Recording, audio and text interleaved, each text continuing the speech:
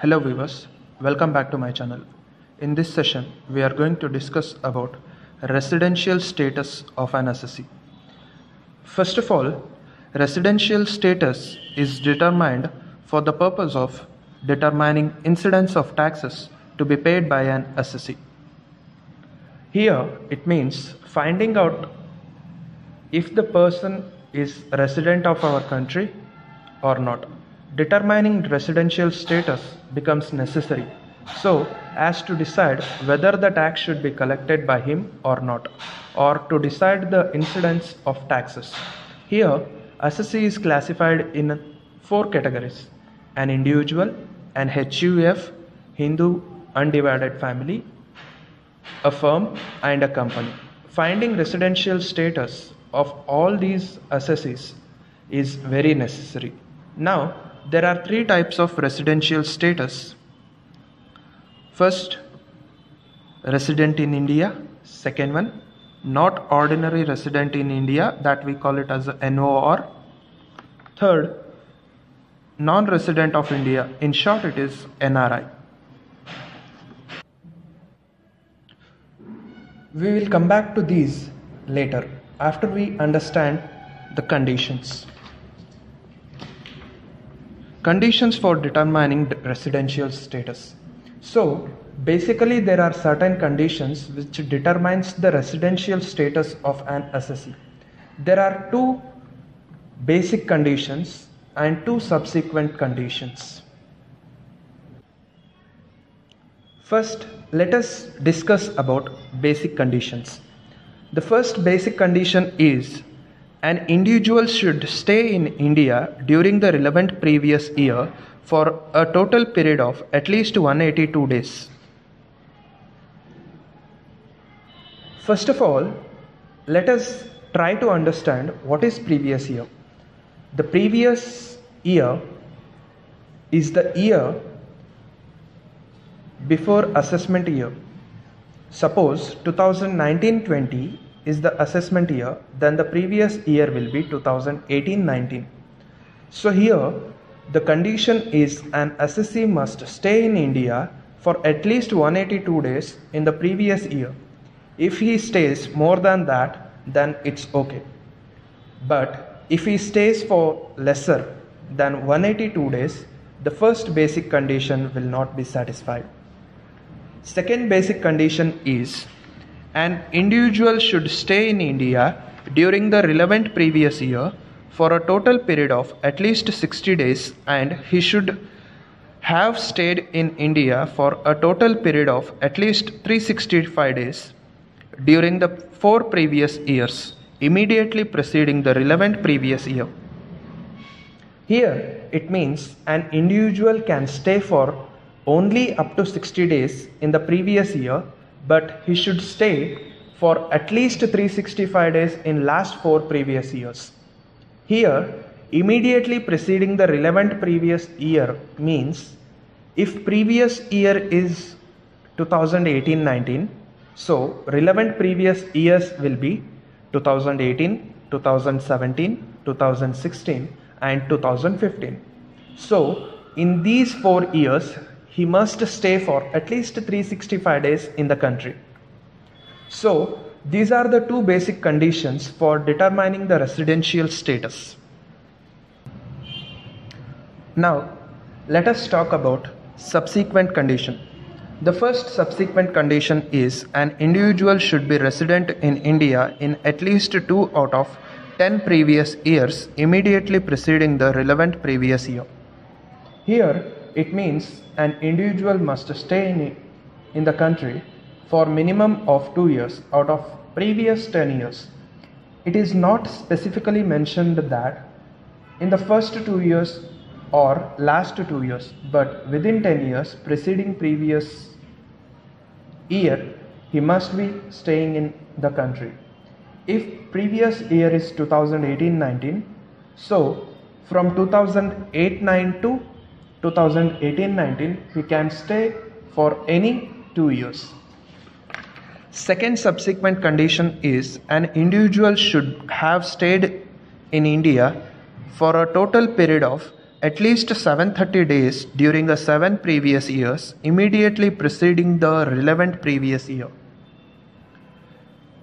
It means a person can stay for 730 days during the seven years preceding previous year. Like in the previous condition, if he cannot stay continuously for a certain period of time, he can stay irregularly but for minimum of 730 days in the previous 7 years. Now, now if a person satisfies any one basic condition and both subsequent conditions, he will be treated as a resident of the country. If a person satisfies any one of the two basic conditions but fails to satisfy both the subsequent conditions, he will be called non-ordinary resident. If an individual fails to satisfy any of the basic condition means if he does not satisfy even a single basic condition then he will be treated as a non-resident of India. In general terms we call him a NRI. So basically satisfaction of one basic condition is necessary to be called as a resident or a not resident ordinary resident. Now let us have a look at some examples for determining the residential status of individual. So the first situation is Mr. Y is a citizen of America was appointed in India on 1st April 2008. On 31st Jan 2016, he went to Australia on deputation for a period of three years, but left wife and children in India. On 1st May 2017, he came to India and took with him his family to Australia. On 30th June 2017, he returned to India and joined his original job on 2nd Feb 2019 what would be his residential status for the assessment year 2019-20. Now we are asked to determine the basic residential status of Mr. Y only for assessment year 2019-20. So let us draw a small table. In that first column is year for which residential status should be determined. Second column is number of days Mr. Y stayed in India during that particular year. And third column is for his residential status. So now in the year 2019, Mr. Y returned to India from Australia on 2nd Feb 2019. Right? Means from 2nd Feb to the end of the assessment year, that is up to 31st March 2019 he stayed in India, uh, which is 58 days. Now, let us check with the basic conditions first. First condition is he should stay minimum of 182 days in previous year. So here clearly this condition is not satisfied by him. Second condition is minimum of 60 days he should stay in the previous year and 365 days in preceding 4 years from previous year. So he did not satisfy this condition as well. When an individual do not satisfy any of the basic conditions, he will be treated as a non-resident. So here Mr. Y is a non-resident of India.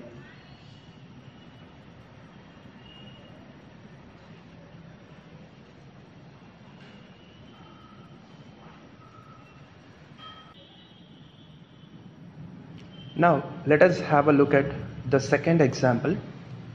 Mr. X is a citizen of India who has been serving in Delhi office for the last 15 years.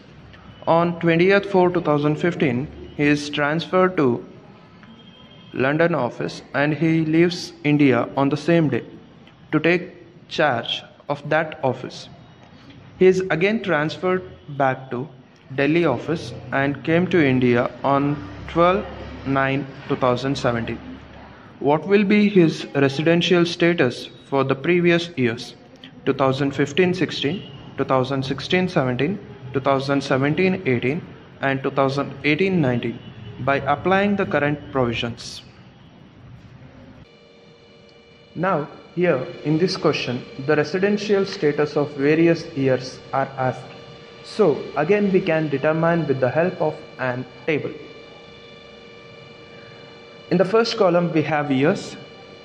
In the second column we have dates from which he stayed in India. In third column we have number of days he stayed in India during that particular year. In the fourth column we have residential status. So, in the year 2015-16 he left to London on 20th April 2015. So, it means he stayed in India from 1st April 2015 to 20th April 2015. So here he stayed only for 20 days in India. Here again he is not satisfying any of the basic conditions so he will be treated as a non-resident for the year 2016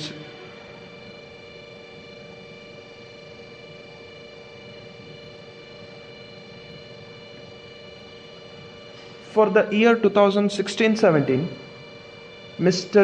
X did not stay in India even for a single day, so he is clearly treated as non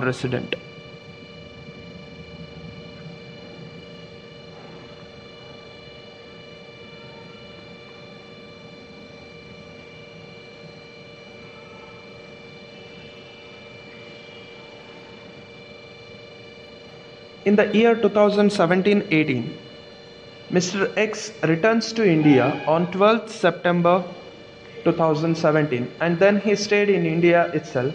So from 12th September to 31st March, he stayed in India and which means 201 days.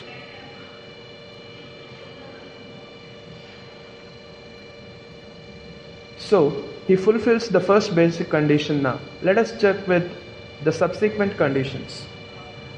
First subsequent condition is he must be resident in India for at least 2 years in previous 10 years. Here Mr. X was not staying in India only for the year 2016-17. Remaining all other years he was staying in India. So he fulfills the first subsequent condition. The second subsequent condition is he must stay for at least 730 days in previous 7 years. So he satisfies the second subsequent condition as well. So he is treated as a resident for 2017-19.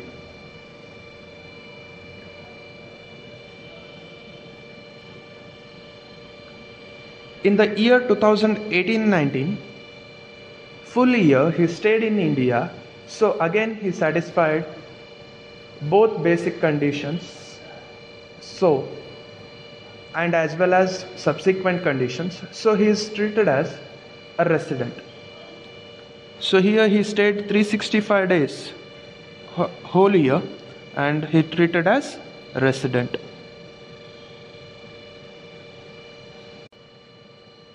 Okay guys, so this was all about today.